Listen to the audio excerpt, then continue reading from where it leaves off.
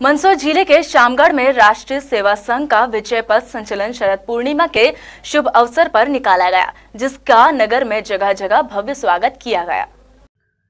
बता दें कि कृषि उपज मंडी प्रांगण में अतिथियों के रूप में प्रताप सिंह परिहार जिला संघ संचालक एवं सुरेश सेठिया विभाग संचालक प्रमुख द्वारा भारत माता की तस्वीर पर पुष्पमाला अर्पित कर जय घोष के साथ विजय पथ संचलन का प्रारंभ किया गया। संचालन प्रातः साढ़े दस बजे मंडी प्रांगण से चालू हुआ, जो Garod road, station road, Kasoi मोहल्ला समेत मार्गों से होते हुए वापस कृषि उपज मंडी पहुँचा, जहाँ उसका समापन किया गया।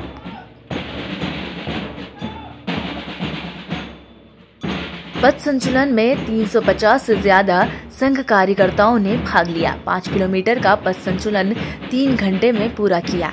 इस दौरान 50 से ज़्यादा जगहों पर सामाजिक, धार्मिक संगठनों के सदस्यों द्वारा पथ संचलन का स्वागत किया गया और आतिशबाजी भी की गई।